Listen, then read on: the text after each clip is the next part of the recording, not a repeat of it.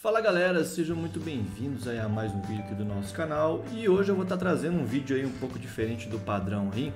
Uh, vou estar demonstrando para vocês aqui que eu estou utilizando aqui o, é, todo mundo sabe que eu utilizo o Fedora, né? Então eu fiz atualização recente agora para o Fedora 28, como vocês podem ver aqui, ó.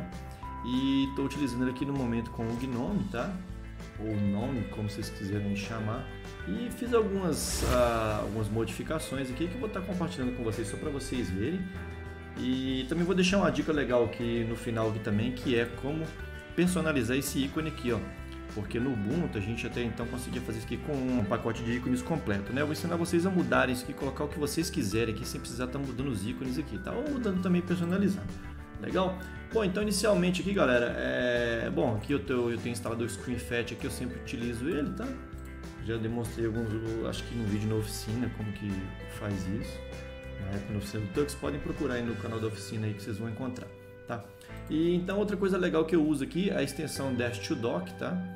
Que é, é a gente pode estar tá personalizando algumas opções, igual eu deixo aqui, tá vendo? Transparente, também deixo aqui essa opção.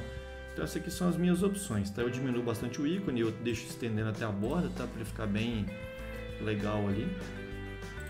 É, aqui eu não mexo nada, você pode mover o botão aqui, tá? Esse botão aqui para ficar tipo o Ubuntu lá, o Unity. Olha lá, pode mandar o ícone aqui para cima aqui, mas eu prefiro deixar ali embaixo, tá? Ah, no mais aqui em comportamento eu deixo assim e aqui em, em aparência eu deixo aqui só encolher o, a dash, né? Que senão ele fica muito compridona, ele fica feio pra caralho. Aqui e também é, eu deixo aqui dinâmico, tá? Você pode estar deixando aqui adaptivo aqui também, tá? Ele fica bem legal. Prefiro dinâmico aqui. E no mais é isso aqui. Uh, eu utilizo também aqui, pessoal, é, uma outra extensão que eu gosto muito, perdão, eu gosto muito do KDE, todo mundo sabe, eu também utilizo um, uma, uma opção lá para o que é esse aqui, ó, tá vendo? Então esse aqui é uma outra extensão que eu uso, são três extensões no total, tá? É, deixa eu mostrar aqui, acho que nem precisava fazer isso. Mas, é, aliás, nem precisava eu abrir aqui, né? Aqui direto no Tweak Tool aqui, aqui no Twig Tool a gente consegue ver aqui as extensões que eu estou utilizando, tá? Então eu estou utilizando aqui o Cover Flow, que é esse para fazer essa opção aqui, tá? Vocês podem ir direto lá no, no site do William Shaw Extensions e tá ativando para vocês. E o Dash to Dock. E também ah, uma bem interessante que eu estou utilizando aqui também é a System Monitor aqui em cima, tá? No KDE eu utilizo aqui embaixo para monitorar e aqui eu utilizo esse aqui, ó, que faz o monitoramento da CPU. Na verdade vocês podem personalizar da maneira que vocês quiserem, tá? Olha, vocês podem deixar memória RAM, swap, rede, disco, até a ventoinha que estiver tudo funcionando. Ah, no momento ali não estou utilizando a GPU, tá? Mas para tá, você estar utilizando, é, para estar tá funcionando aqui a GPU, tem que instalar o LM Sensors, tá? E depois dar um, um auto detect lá para poder configurar direitinho os sensores da, da placa. E detalhe, aqui mesmo está tá informando aqui que só funciona com placas NVIDIA, ok?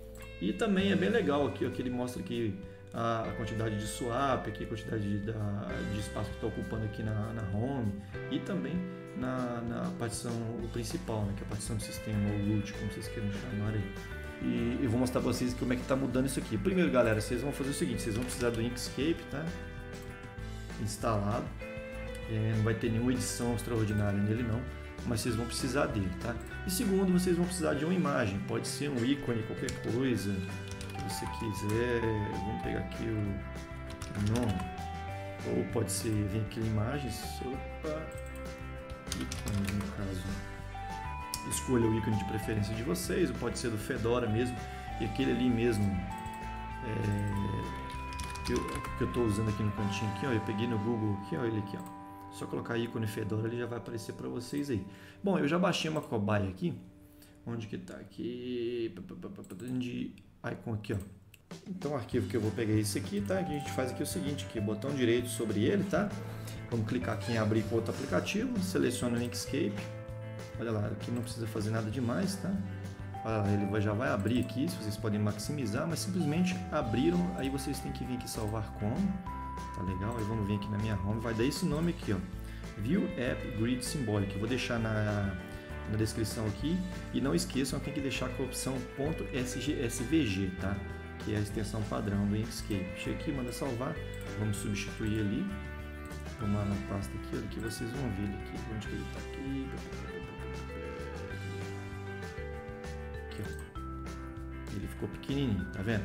Agora o pulo do gato aqui é o seguinte, é, agora nós já temos o nosso arquivo aqui, agora a gente vai lá onde nós vamos precisar substituir. Só para vocês estarem entendendo aqui, o processo vai ter que ser feito todo via terminal, que atualmente a gente não consegue mais executar o Nautilus. Acho que até tem gambiarra para executar o Nautilus com, com o sudo, né?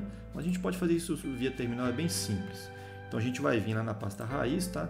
Então o caminho vai ser aqui, ó, o share, icons, né? Cadê, cadê onde que tá aqui? Icons, aqui. Bom, se, vocês podem escolher a pasta de vocês. Eu fiz aqui no, na pasta do Adwaita, tá? Que aí ele, que, que ele fez? Ele colocou padrão tanto para o Adwaita quanto para o Gnome, tá? Então ele tá padrão para essas duas pastas e alguns também estão reconhecendo. Então o que nós vamos fazer? Vamos fazer diferente. Vamos pegar aqui a pastinha do Paper, tá? Vamos fazer dentro de Paper. Ah, vocês têm duas maneiras de fazer isso aqui. É, Caso não tenha essa pasta aqui, ó, tá vendo? Scalable, caso, caso não tenha, vocês vêm aqui e vão mandar buscar pelo nome, tá? View App. Olha lá, tá vendo? Então ele já vai buscar. Olha lá, tá dentro de Scalable Actions, tá? Então vocês podem vir aqui, abrir local do item. Olha lá, então tá dentro de Paper, Scalable Icons, tá vendo? Aqui, ó. View App Grid Symbolic. O ideal, caso vocês, se vocês forem fazer isso aqui, é, vocês fazerem uma cópia desse arquivo, tá? Então vocês podem fazer essa cópia para onde vocês quiserem aqui. É, deixa eu abrir aqui na pasta pessoal aqui. Olha aqui, dentro dessa pasta aqui, eu vou criar uma pasta aqui, paper back, só para ter uma ideia. Então aqui nós vamos precisar um terminal, tá? Tudo vai ser via terminal. Então vamos ter que navegar até essa pasta, tá? Para a gente estar tá fazendo uh, essa, essa cópia. Então vamos lá então, cd barra usr share icons é, paper, né? Tá maiúsculo. Paper é, scalable actions, né? enter. Aí o que nós vamos fazer? Agora nós vamos copiar o arquivo daqui para aquela pasta que eu criei lá dentro da pasta icons, tá? Na, na, na, minha home. Então vamos dar um CP, o nome do arquivo é o view app, tá? Ele já vai pegar, então agora nós vamos colocar aqui o endereço para onde que ele está indo, tá? Então vai ser home, topa, tuxter, barra icons, tá maiúsculo? Acho que tá maiúsculo. Icons, é, paper, coloquei mais não, tá minúsculo. Paperback, entendeu? Então na hora que a gente der um enter, ela já vai vir aqui para dentro aqui, ó.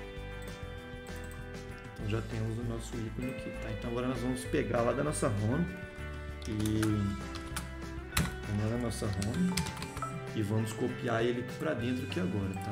Deixa eu pegar aqui o endereço aqui para vocês verem. Ali tá ali tá o endereço, tá? Esse já pode fechar, não vai precisar mais dele.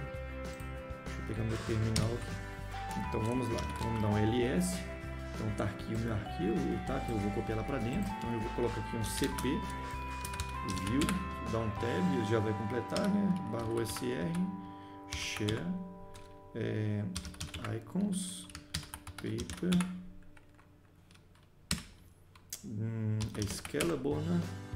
Actions e vou dar o nome do arquivo que agora que ele vai, tá? Então é view, opa,